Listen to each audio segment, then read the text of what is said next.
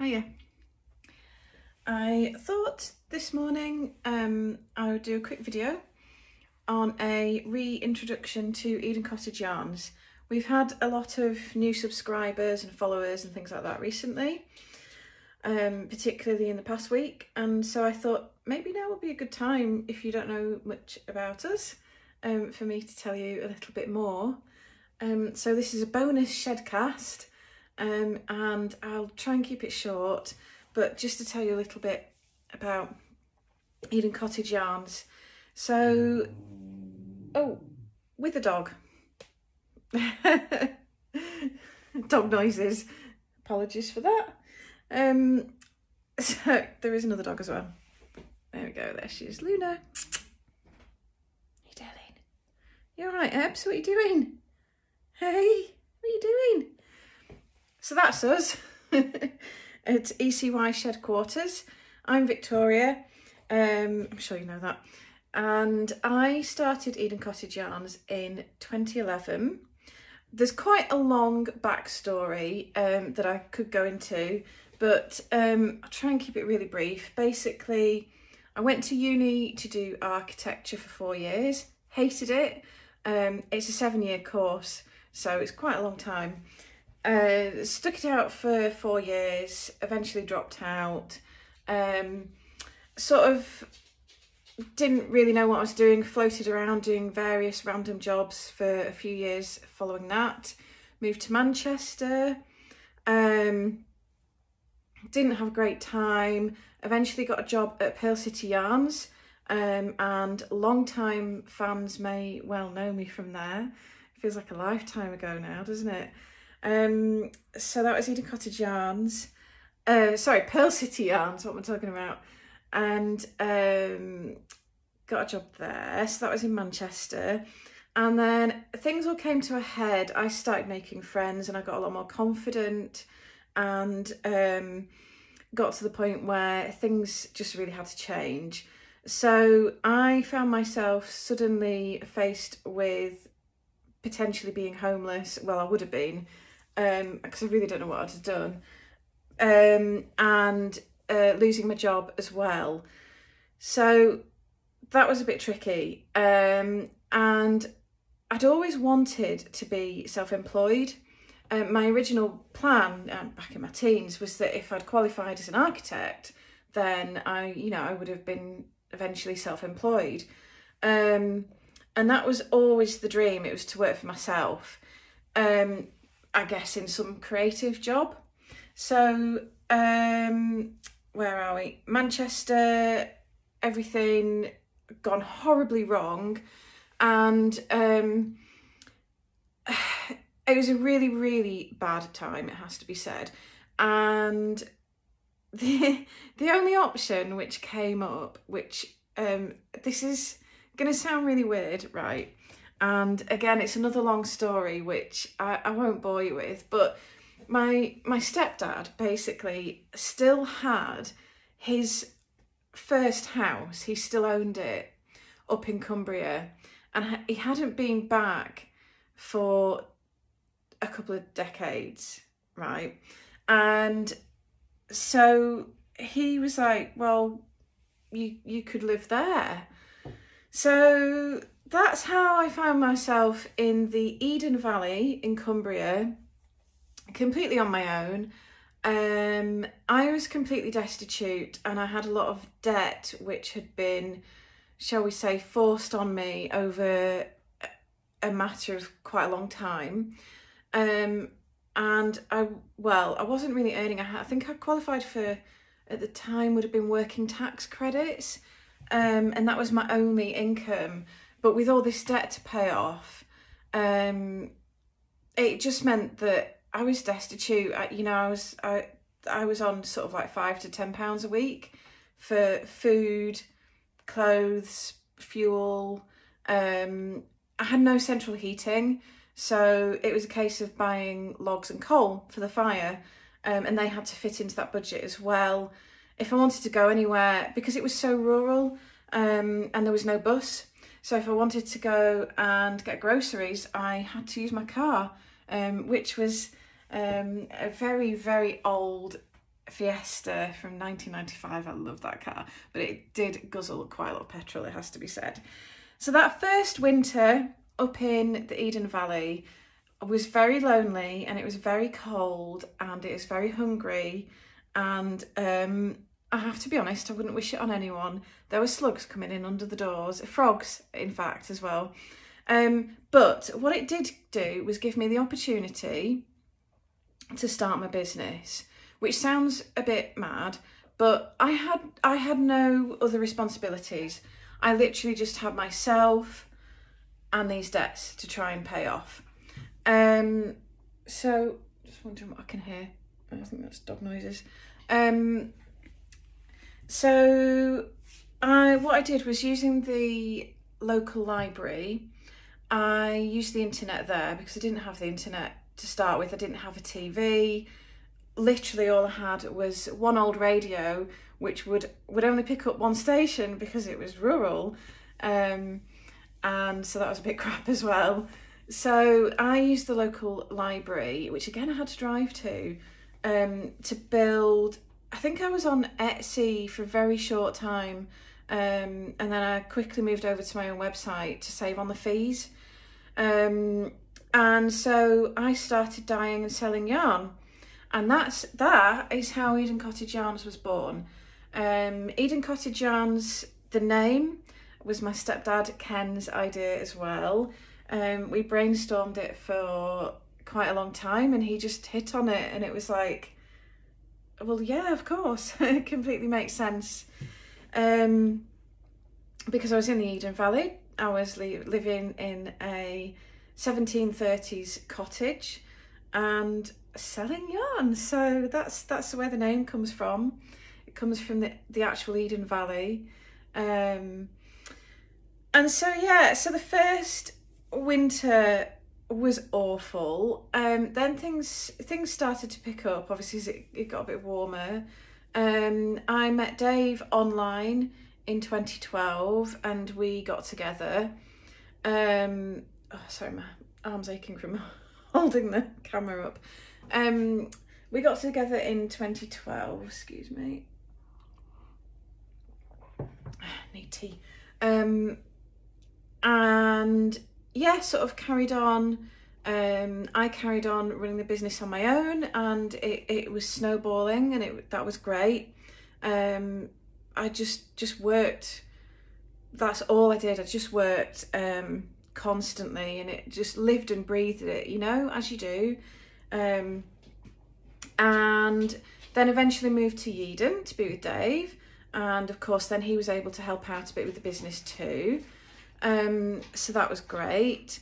But thing things just got busier and busier, and I got to the point where I was working, like I I'd, I'd be sleeping for like five hours, and then the whole of the rest of the time was just work, um, seven days a week, and we were doing shows at the weekends and all sorts. Um, so it was going really well, but it was it was quite difficult, to be honest. Um, you know, fitting everything in and and just trying to breathe a little bit. But anyway, you know, we did it as you do. Um, so that was in Yeadon. Then in 2016, we moved to Wetherby. Um, and so that's where we are now. And uh, I'll just show you where I am. You've probably seen all the mess in the kitchen behind me, so you might as well see the rest of it, to be honest. Um, I have no shame. It's a mess. I'm busy. I, I don't have time to, to keep the house immaculate, so tough. Um, it's just the way we are. So we're here in Wetherby, and that was in 2016. But still, things were super, super busy, and I was struggling with my workload. And it was a shame, really, because we had all these wholesale inquiries, and, and I just had to turn them away because I got to the point at, at one time where my waiting list was like 18 months, which is just ridiculous. Um, so when we moved in here, the whole house it needed rewiring. It was an absolute state, particularly the kitchen, which is obviously where I am now. It was a complete and utter state. But what it did mean was that I could actually do my dyeing in this kitchen. Um, which is really not ideal. I do not recommend it at all, but if you've got to do it, then you've got to do it. So I was doing the dyeing in this kitchen, and then outside, which I'll show you in a minute, um, we got a couple of sheds. Got a large shed for me to dye in, and a smaller shed to use as the office. We sorted the garage out. It's an ancient garage. It needed gutting and cleaning out, and that's now the stock room. Um, what I haven't actually mentioned, talking about kitchens, is that the kitchen in the cottage in Cumbria honestly was the size of a sixpence. It was tiny. Like when Dave came to visit on a weekend, you, we couldn't even both fit in the kitchen. It was that tiny because it had been built at some point as a lean to onto the actual cottage. Um, because the cottage didn't have a kitchen, it just had a big range in the middle of one of the rooms. Um, so I did my dyeing. I mean, I, I honestly don't know how I did it. I kind of spilled out into the garden. Um, I had pots on the range a lot of the time, but of course, then you need your coal um, to heat it up.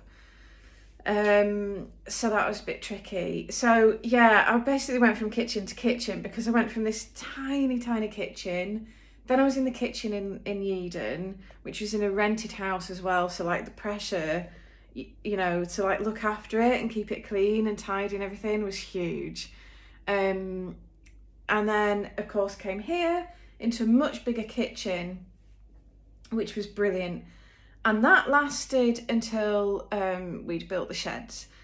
In 2017, um, I think with the sheds ready then? It might have been late 2017, maybe. Anyway, it doesn't matter. In 2017, I bit the bullet and took on Laura, who, if you've ever emailed us or um, spoken to us on Facebook or anything like that, you might know her uh, or have seen her name.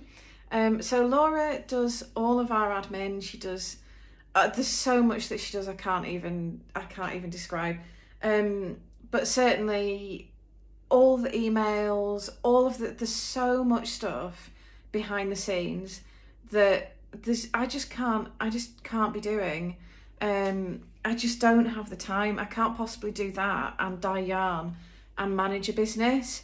So Laura just does all of that. Um, so yeah, basically the day to day running of the business, all of the stuff behind the scenes, all of the admin, website stuff, that's all Laura. Um, so she she works full time. So I've had her for a few years now. And also, um, that after that, I got the confidence to employ two more people. So we have Debbie and Claire. Um, they come and work on the premises, although it has to be said, COVID did complicate that, um, obviously. So they have been working from home, but we've recently um, come back to working on the premises. So Debbie and Claire both work part time. They process and pack the orders and they process all the yarn. So they do all the twisting and labeling, which is again, these are all big jobs. Um, so yeah, between between the two of them, they cover me sort of most days of the week for order packing and yarn processing, and also just kind of general ideas and motivation, and um, yeah, support as well. To be honest, they just all support me, and hope hopefully I support them as well. We we're sort of quite a good little team, I think. Um, I do have an, I now also have another lady who works not here, um, who helps me with the dyeing. Sandra, she is absolutely incredible. Um, she, uh, well, yeah. I mean, what more can I say? She's just, just brilliant. Um, she just completely gets it, and and she's such a perfectionist, and um, yeah, I'm absolutely chuffed to bits that that I've got her helping me as well because again, there's no way that I can produce the amount of um, yarn that we need to produce at this point to keep things ticking along. Um, so that we're quite a good team. Well, brilliant team actually. You know what? We just we are we're a brilliant team and I absolutely love it. It's so motivating having people around me who are on the same page. Um, so yeah, so that's the team. That's where we're up to now. Um, so at this point, I've been going for 10 years, which is just insane. Um, and it's one of those things I just always, um, I just always said, and I always thought, well, do you know what? If it all goes horribly wrong, I'll go and get another job because I'm generally happy, you know, wherever I am, whatever I'm doing, I'm quite easily pleased. I've done all sorts of random jobs in the past. So I've always just said, you know, we're, we're not a company that runs with like debts and assets and all the kind of like complicated stuff. You know, we just buy and sell yarn. That's it. I pay pay my staff, pay my taxes, pay my bills, all in cash. Um, you know, I, I try to keep it very simple. And like I say, if it all went horribly wrong tomorrow, I'd be able to pay all of us and that would be it. Obviously, we hope it'll never happen, but it's a good position to be in because it means you've not got the constant stress of, um, I don't know, just worrying about it really. I mean, you have, but also you haven't.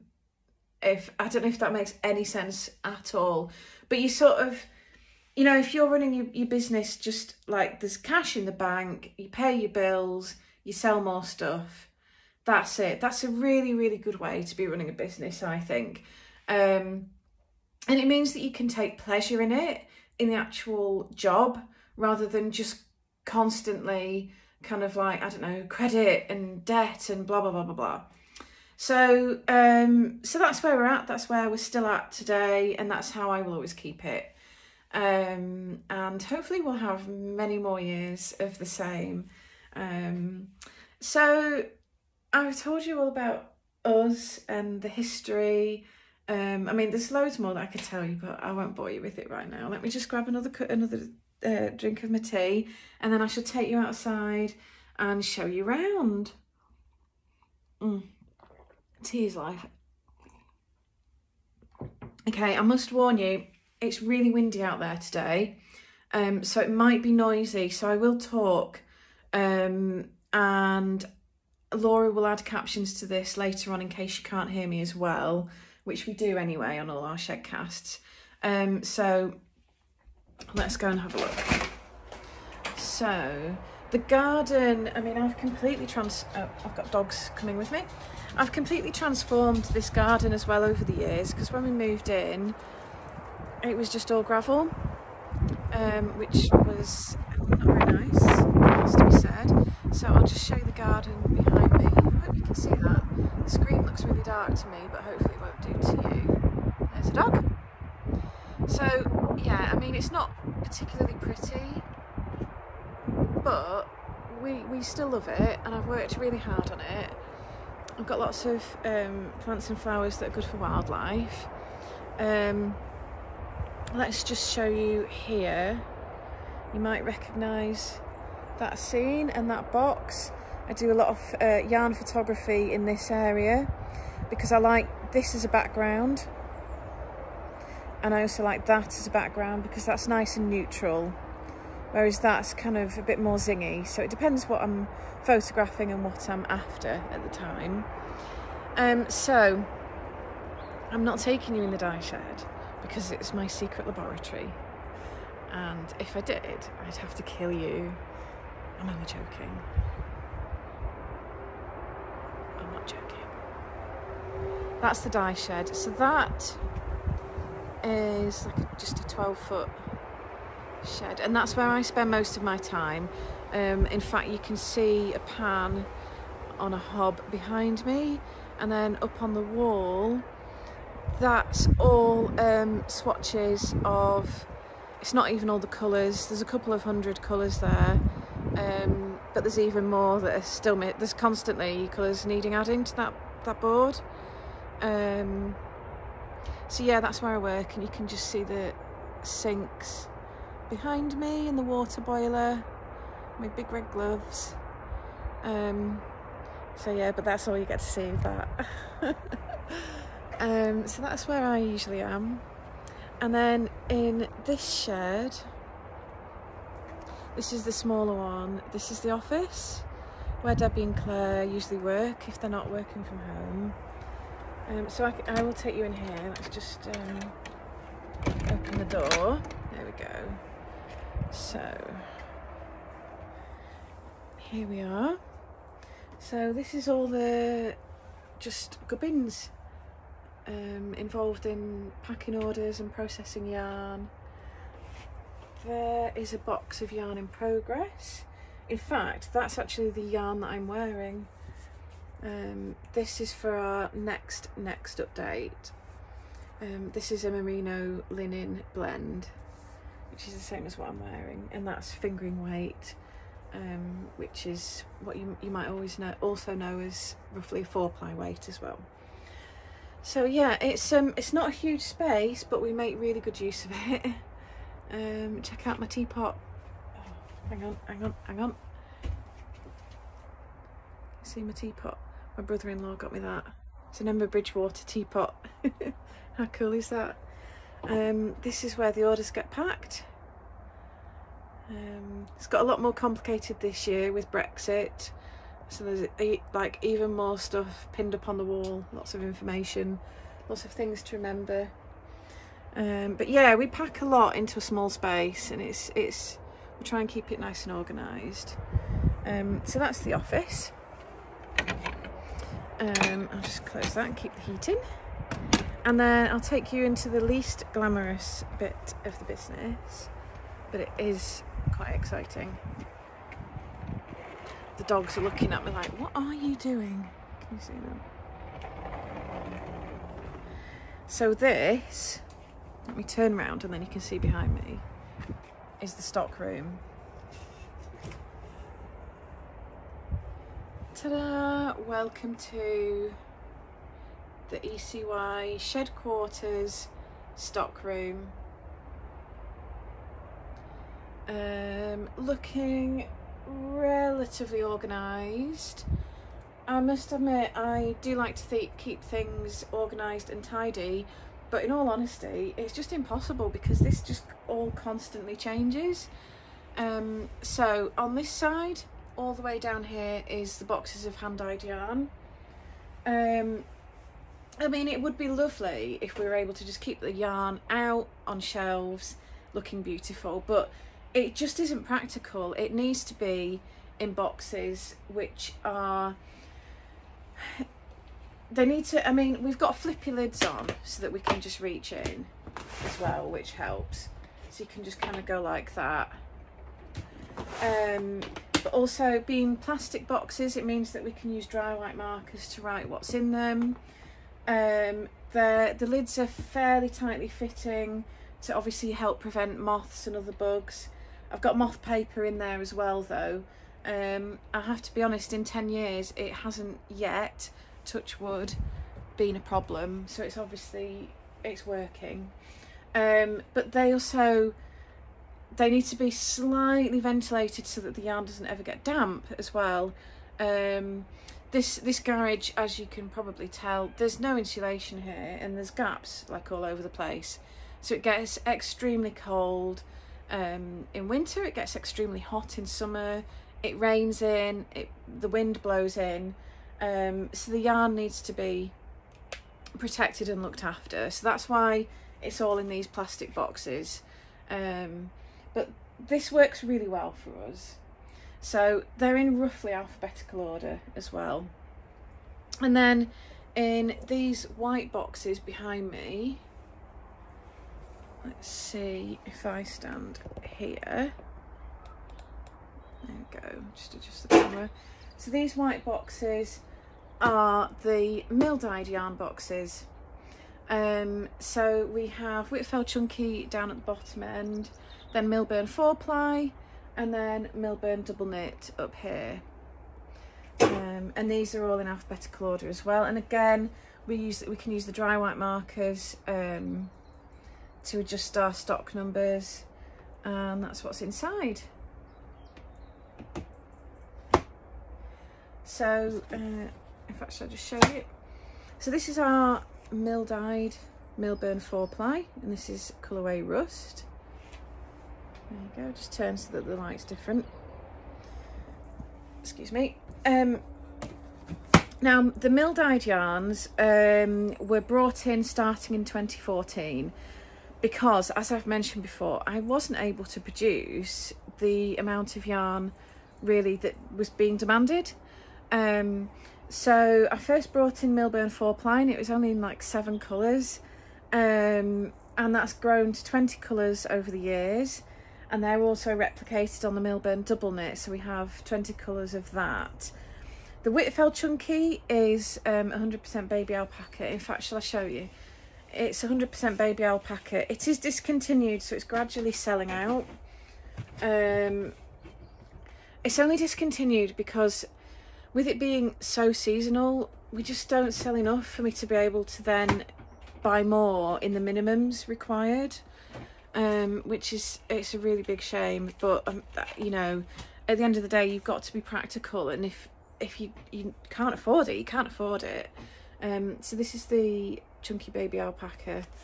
So um, if you if you do like the look of this, do get it while we've got it because it is selling out.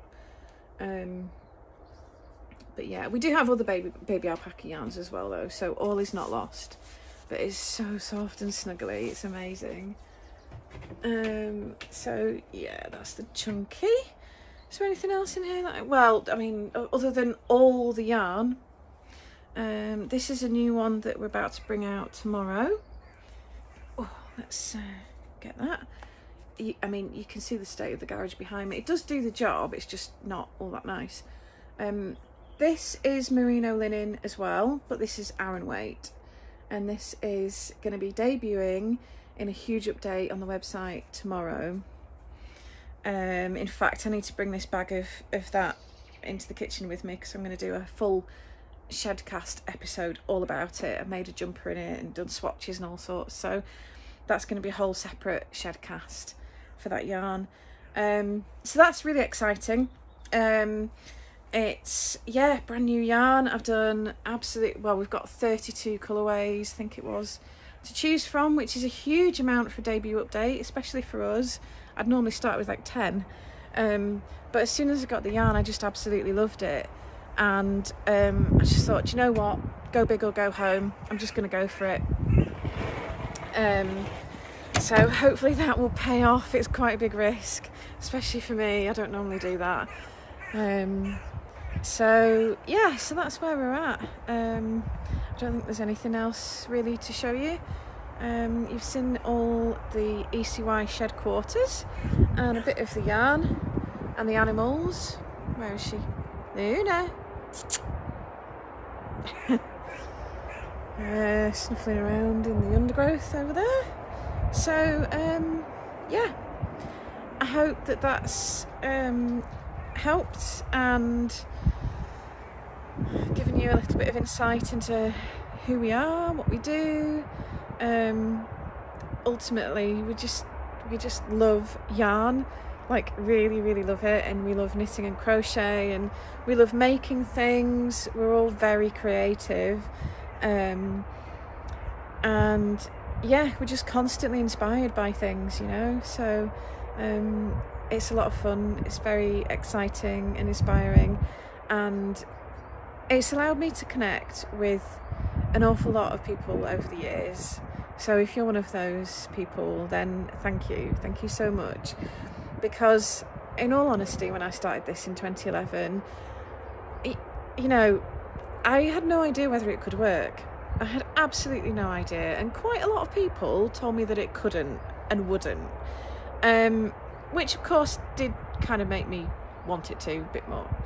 Um, but nonetheless, you just don't know how things are going to work out. You've no idea, and you know if it wasn't if it wasn't for the customers, for the support, for the community, we simply wouldn't be here. That that's all there is to it. You know, if we're not selling yarn, we're not here.